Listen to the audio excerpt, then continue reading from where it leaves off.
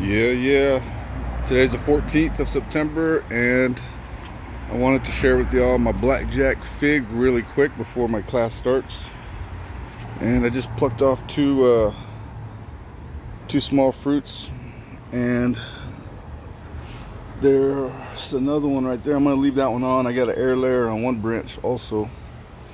But uh it's still uh still growing fruit these are not ripe but um, blackjack is doing well